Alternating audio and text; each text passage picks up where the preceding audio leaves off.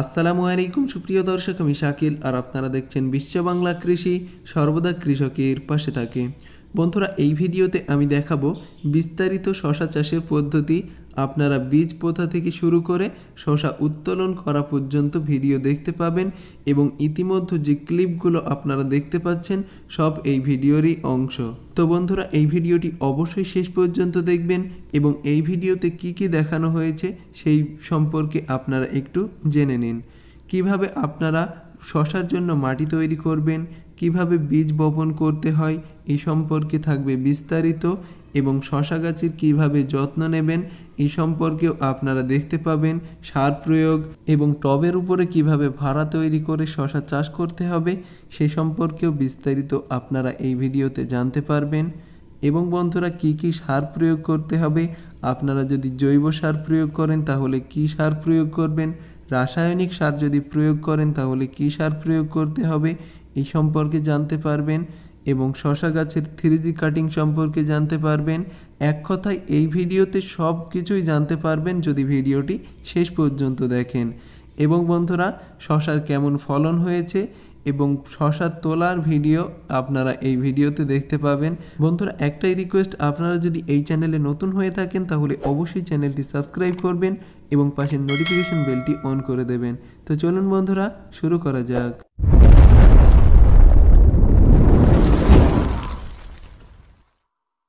বন্ধুরা, টবে শশা চাষ করার জন্য এখানে আমি পঞ্চাশ শতাংশ বেলে দোআঁশ মাটি নিয়েছি, পাঁচ শতাংশ বালি নিয়েছি এবং পঁয়তাল্লিশ শতাংশ গোবর সার নিয়েছি। আপনারা যে কোনো জৈব সার ব্যবহার করতে পারেন গোবর সারের পরিবর্তে। এবং সামান্য পরিমাণ ফাঙ্গিসাইড বা ছত্রানাশক নিয়েছি, তারপরে এই মাটিটাকে ভালোভাবে মিশিয়ে নিতে হবে। বন্ধুরা, খুব ভালোভাবে এই মাটিটাকে মিশিয়ে নেবেন, তারপরে দেখুন মাটিটা রেডি হয়ে গেছে, এরপরে এটাকে টবে ভরাট করতে হবে।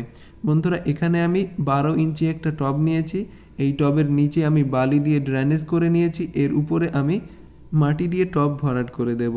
বন্ধুরা, আমি এই টবটিকে ভরাট করে নিচ্ছি। বন্ধুরা, টবে মাটি ভরাট করার সময় একটা বিষয় অবশ্যই লক্ষ্য রাখতে হবে, সেটা হলো টবের এই মাটিটাকে খুব চেপে চেপে তারপরে ভরাট করবেন না। এটা হালকা ছেড়ে দেবেন। আস্তে আস্তে মাটিটা নিজের আকৃতিতে বসে যাবে এবং এর ড্রেনেজ সিস্টেমটা ভালো থাকবে। বন্ধুরা, এবার আমি বীজ বপন করব, এজন্য আমি শশার বীজ নিয়ে নিয়েছি, পাঁচ সাতটা বীজ নিয়েছি, এবার আমি এই বীজগুলিকে পুঁতে দেব। বন্ধুরা, এই বীজ পোতার জন্য আপনারা দুইটি পদ্ধতি অবলম্বন করতে পারেন। বন্ধুরা, বীজের একদিক ভোতা এবং একদিক শোচালো। এই ভোতা মুখটা আপনারা নিচের দিকে দেবেন।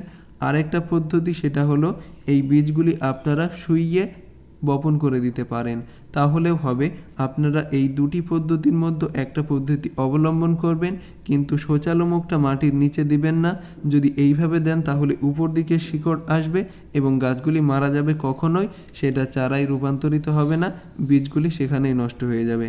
এটা অবশ্যই আপনাকে খেয়াল রাখতে হবে সব ধরনের বীজ বপনের ক্ষেত্রে। বন্ধুরা, সর্বদা আপনারা উচ্চ ফলনশীল শশার বীজ সংগ্রহ করবেন এবং সেই বীজগুলিই পুঁতে দেবেন। এই বারো ইঞ্চি টবের জন্য দুইটি গাছ প্রয়োজন। আপনারা দুইটি সুস্থ গাছ রাখবেন এবং বাদবাকি গাছগুলি তুলে অন্য জায়গায় রোপণ করতে পারেন বা তুলে ফেলে দিতে পারেন। এবং বীজগুলি বপন করার আগে বীজগুলি শোধন করে নেবেন। এ সংক্রান্ত ভিডিও দেওয়া আছে শশার চারা কীভাবে তৈরি করতে হয়, সেই ভিডিওটি অবশ্যই দেখবেন। এবার আমি এটাতে পানি প্রয়োগ করে দিচ্ছি।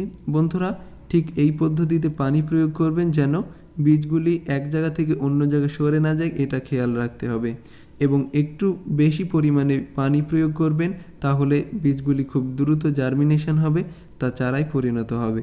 বন্ধুরা, বীজ বপনের তিন দিন পরে দেখতে পাচ্ছেন চারায় পরিণত হয়ে গেছে। আপনারাও ঠিক এই পদ্ধতিতে যদি বীজ বপন করেন, তাহলে চারা তৈরি হয়ে যাবে। বন্ধুরা, আমার এই টবে চারটি চারা বার হয়েছে এবং মুরগিতে নষ্ট করে দিয়েছে। কিন্তু দুটো চারা এখনও আছে, এই দুটি চারার যত্ন নেব। বন্ধুরা, বীজ রোপণের পনেরো দিন পরের অবস্থা আপনারা অবশ্যই দেখতে পাচ্ছেন এবং চারার গ্রোথটা আপনারা অবশ্যই লক্ষ্য করেছেন।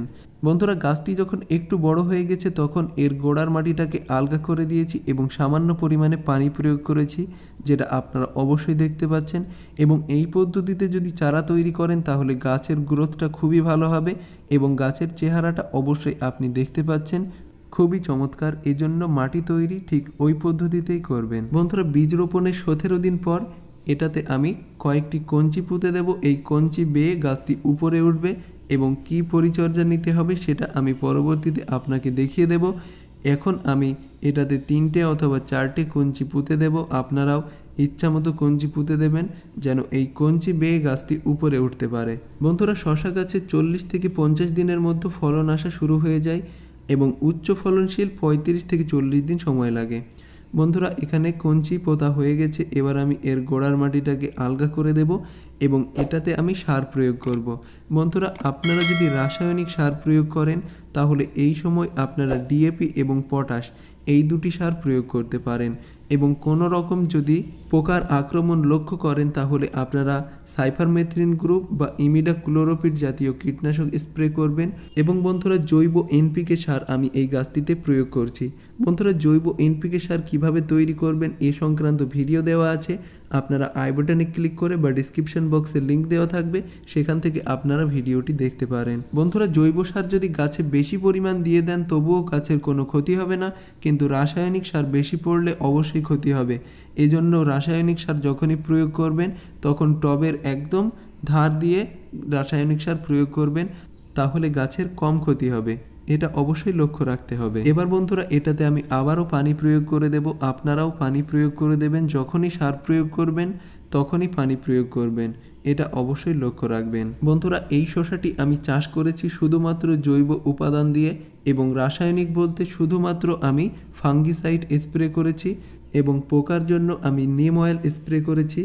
নিম অয়েল স্প্রে করতে পারেন সপ্তাহে একবার। এবং যদি রাসায়নিক কোনো কীটনাশক ব্যবহার করেন, তাহলে আগেই আমি আপনাদেরকে জানিয়েছি ইমিডা ক্লোরোপিড জাতীয় বা সাইফারমেথ্রিন গ্রুপের কীটনাশক এক এম প্রতি লিটার পানিতে মিশিয়ে গাছে স্প্রে করে দিলে কোনো প্রকার আক্রমণ থাকবে না। বন্ধুরা, গাছগুলি ক্রমশ বড় হচ্ছে যেটা আপনারা ইতিমধ্যে দেখেছেন। এই গাছটি যখন দু থেকে তিন ফুট উচ্চতা হয়ে যাবে, তখন এই গাছে থ্রি কাটিং প্রয়োগ করতে হবে। ফার্স্ট এই গাছের যে ব্রাঞ্চ এটা হলো ওয়ান জি যেটা আপনারা দেখতে পাচ্ছেন, এবং এর মাথার অংশটা কেটে দিতে হবে, তাহলে এর আশপাশ দিয়ে শাখা প্রশাখা লতা বার হবে। সেই লতাগুলি টু জি লতা হবে। সেই টু জি লতার মাথার অংশটা কেটে দিলে থ্রি জি লতা বার হবে, এবং থ্রি জি লতা যখনই বার হবে, তখনই আপনারা প্রত্যেকটা লতায় স্ত্রী ফুল দেখতে পাবেন, এবং সেই স্ত্রী ফুল থেকে ফলে পরিণত হবে। প্রচুর পরিমাণে ফলন পেয়ে যাবেন। বন্ধুরা, এই শশা গাছের মাথার অংশটা আমি কেটে দিয়েছি। অর্থাৎ এই গাছে টু জি কাটিং দেওয়া হয়ে গেছে। বন্ধুরা, টু জি কাটিং দেওয়ার পরে অনেকগুলি শাখা পোশাখা লতা বার হয়েছে, যেটা আপনারা অবশ্যই দেখতে পাবেন। বন্ধুরা, এই গাছটিতে ছটা নতুন লতা বার হয়েছে। একটা টু জি কাটিং দেওয়ার পরে। তাহলে অবশ্যই এটাতে ফলন বৃদ্ধি হবে। এবং যে লতাগুলি বার হয়েছে, এই লতার মাথার অংশটা কেটে নেব, তাহলে থ্রিজি কাটিং দেওয়া হবে এবং গাছটি প্রচুর পরিমাণে ঝাঁকালো হয়ে যাবে। আর থ্রিজি লতা বার হলে তাতে প্রচুর পরিমাণে স্ত্রী ফুল থাকবে, যা পরবর্তীতে ফলে পরিণত হবে। বন্ধুরা, এই লতার মাথার অংশগুলি আমি কেটে দিচ্ছি, এটাতে থ্রিজি কাটিং দেওয়ার জন্য। বন্ধুরা এই মাথার অংশটা কেটে দিলেই এটাতে থ্রি জি কাটিং দেওয়া হয়ে গেল। এটাতে আর কোনো কাটিং দেওয়ার প্রয়োজন নেই। এবার যে লতাগুলি বার হবে, তাতেই হবে প্রচুর পরিমাণে শশা। বন্ধুরা, জৈব এনপিকে সার দেওয়ার পরে প্রচুর পরিমাণে শিকড় বার হয়েছে, যেটা অবশ্যই আপনারা দেখতে পাচ্ছেন এবং এই গাছেই দেখতে পাবেন প্রচুর পরিমাণে ফলন এবং স্ত্রী ফুল। আপনারা ইতিমধ্যে শশা দেখতে পাচ্ছেন। এই শশাগুলি পরবর্তীতে অনেক বড় হবে এবং প্রচুর পরিমাণে ফলন পেয়ে যাবেন আপনারা টবে। বন্ধুরা, আমি শুধু কঞ্চি ব্যবহার করেছি, আর কিচ্ছু ব্যবহার করিনি। তাতেই এই গাছে প্রচুর পরিমাণে শশা হচ্ছে এবং এর আরেকটি পদ্ধতি আমি অবশ্যই আপনাদেরকে দেখাবো, কীভাবে এর উপরে মাচা তৈরি করতে হবে শুধু টবের উপরে। তাহলে আপনারা আরও ভালোভাবে চাষ করতে পারেন। বন্ধুরা, এই কঞ্চির ওপরে আপনারা নেট দিয়ে একটা মাচা তৈরি করে দিতে পারেন। তার উপরে গাছগুলি উঠে প্রচুর পরিমাণে ফলন পাবেন। বন্ধুরা, শশা বড় হয়ে গেছে এবং শশা উত্তোলনের ভিডিও ইতিমধ্যে আপনারা দেখতে পাচ্ছেন। বন্ধুরা, এই ভিডিওটি আশা করি আপনাদের সবার ভালো লেগেছে। ভিডিওটি যদি ভালো লাগে, অবশ্যই লাইক করবেন এবং বিস্তারিত এই ভিডিওতে জানানো হয়েছে। যদি কোনো কিছু মিস থাকে, তাহলে অবশ্যই কমেন্টে জানাবেন, সেটাও আমি আপনাদেরকে জানিয়ে দেব এবং পরবর্তী ভিডিওতে অবশ্যই বিস্তারিত আলোচনা থাকবে। বন্ধুরা, এই ভিডিওটি শেষ পর্যন্ত দেখার জন্য আপনাদেরকে অসংখ্য ধন্যবাদ। আপনি যদি এই চ্যানেলে নতুন হয়ে থাকেন, তাহলে অবশ্যই এই চ্যানেলটি সাবস্ক্রাইব করবেন এবং ইতিমধ্যে যদি আপনি সাবস্ক্রাইব করে থাকেন, তাহলে আপনাকে অসংখ্য ধন্যবাদ। বন্ধুরা, এই ভিডিওটি আপনার কৃষি বন্ধুদের সাথে শেয়ার করতে ভুলবেন না, বেশি বেশি শেয়ার করবেন এবং শেষ পর্যন্ত ভিডিওর সাথে থাকার জন্য ধন্যবাদ। আবারও দেখা হবে পরবর্তী নতুন ভিডিওতে। থ্যাঙ্কস ফর ওয়াচিং বিশ্ব বাংলা কৃষি।